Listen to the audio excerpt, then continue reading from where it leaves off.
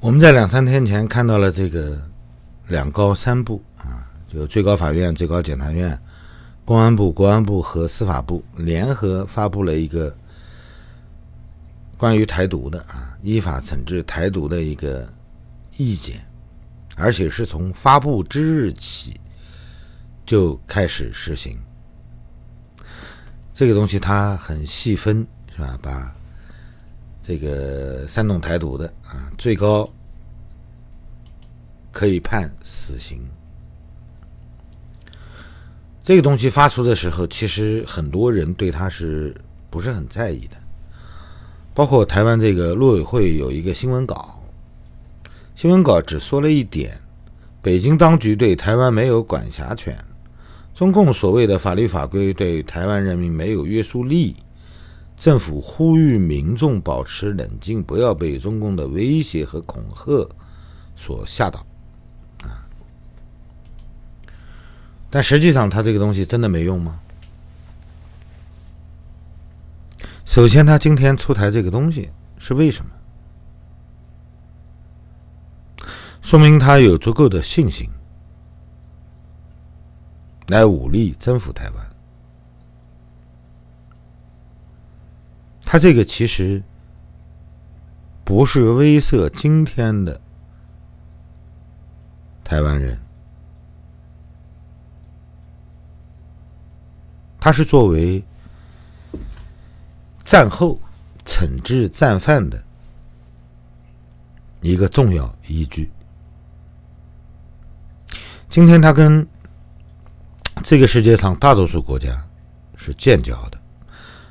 就是我前两天说的，他现在是一个被国际公认的合法政府，这也就意味着他和许多国家不仅建立了外交关系，而且有引渡条约。这也就意味着台湾人和支持台湾独立的人，至少在几十个。摇摆不定的国家是完全有可能会被中共依法要求引渡到大陆去审判的，就他在遏制你的自由空间。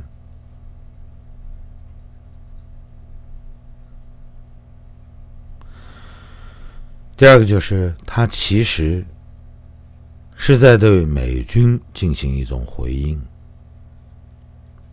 我们应该知道，拜登上台以后至少有五次表态：当台湾受到威胁、受到武力攻击的时候，美国人一定会站在台湾这一边。是道义上还是战术上？这是一个非常巨大的问题。那么，我们都知道。普京在攻击乌克兰以后，他得到了全世界给他的回应。他其实，在克里米亚战争期间就应该得到回应，但当时国际社会对他的制裁是有限的。那么，到他武力侵犯。乌克兰以后，西方不需要宣传，不需要形成统一战线，而是自动的结成了一个联盟，因为它的威胁非常真实。而今天习胖所做的，其实道理也是一样的。他今天选择了一个对他非常有利的时刻。首先，一个他利用前十年进行了一个国家战略的调整。你认为他跟西方把关系都搞僵了？实际上，这个调整是源自于习胖自身的要求。我们应该可以看到，这个世界对。摆脱中国准备不足，在过去至少六年里，我们看到了川普时代开始的与中国的脱钩，所有的制裁都摆在明面上，而且制裁的清单越拉越长，但这一切都没有完全震慑到西方的决心。他未来武力进犯台湾的可能性，在公布这个意见以后，其实已经大大的加强了。意识到这一点的人其实是有限的。我们每一次在讨论这些问题的时候，都应该想一想，空军不断的出台他们新的法规，包括前两天在这个。菲律宾海域，啊，他的海警依法开始进行抓捕了。无论是菲律宾的渔民，还是他们的公务人员，包括士兵，在南海，你看到了中国海警竟然去搜缴菲律宾公务船只上的枪支。我们今天看到的一切都是源于西方的野心，而他这个野心在面对周边国家的时候，我们看到的这种抵抗是非常软弱的。他竟然能收缴枪支，想想有多可怕，对方有多么的不抵抗。在香港，大家已经明确的可以看到了，在全世界的关注下，在香港最高法院还有外籍法官的情况下，他们竟然可以拘押反送中期间的这些活动人士，包括新闻从业者，羁押了一千两百多天，一转眼四五年了。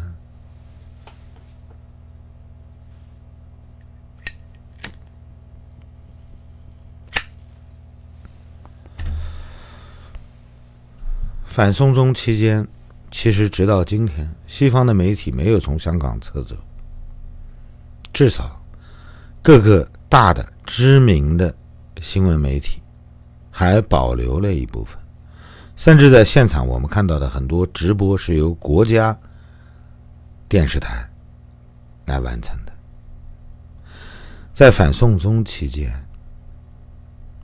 美国的参议员、众议员。都有到达香港现场的，但是结果改变了吗？我们没有看到期待中的正义，在台湾这个问题上，其实也一样。西方真正做的是拆分现在在半导体行业中。台湾的份额，台湾在重要半导体方向上，大概供应了全球百分之九十的份额。这不仅仅是一个台积电，包括联发科，是吧？就像黄仁勋这次去台湾说的一样，它是一个重要的供应链。台湾在半导体行业中是一个重要的国家。你没有看到习胖这个政权对黄仁勋的制裁，因为 GPU 它现在是一家独大，中共现在针对人脸识别监控最需要的是 GPU，所有的服务器都是基于它。所以你看到了这个政权其实不像他们宣传的那么强势，但为什么他在这会儿要咄咄逼人呢？他通过这个意见的发布，实际上是在宣告他对台湾主权的拥有，以及他即将会采取的动作，甚至他为打下台湾以后。怎么治理？怎么制裁？是否列出一个战犯名单？像香港一样，把你都关起来，送上法庭，都做好了自己的安排。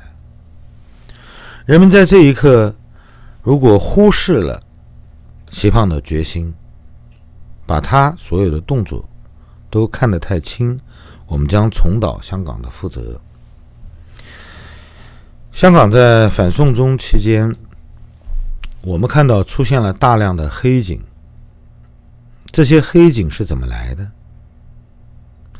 香港市民第一时间指责站在他们面前。对他们执法的警察，要求他们出示 ID、出示委任证。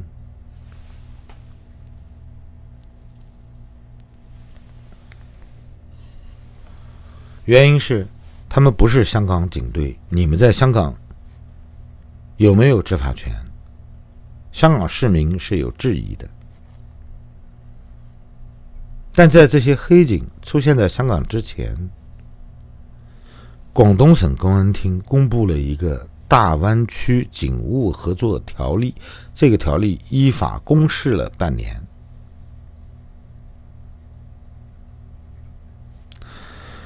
中国内地搞了一个说法，把原先的广州府十二县，其中自然包括香港，按照大清的管辖范畴，香港当时是一个县。大湾区警务合作条例明确的把香港列入了广东警力可以合理调配的区域，这也就意味着，按照他的法律，他依法公示了，没有任何抗辩，所以香港出现了大批来自广东的黑警。今天你看到的这个意见，其实也是为未来他准备占领台湾以后治理台湾打下了一个警务条例依法的基础。可能很多台湾人没有意识到，中共这个政权对他们不仅能战，而且能赢，有多大的信心，可能大家都忽略了。而在习胖这个政权的角度上来看，他们认为，他们不仅能打，而且能赢。这个世界正在面临的是两场战争：欧洲是俄罗斯在侵略乌克兰，亚洲以色列在对抗哈马斯和真主党，在北部他们在。试图消灭哈马斯，在南部，他们正在面临全方位的与在黎巴嫩的真主党开战。在这个时刻，全球经济复苏的过程中，出现了一些不和谐的声音，实际上。全球经济正在衰退，在这种脆弱的时刻，西方完全有信心打响这一仗，而且他认为能打赢。他现在正在释放开战的信号，我相信大多数人并没有准备好。好了，谢谢大家。再见。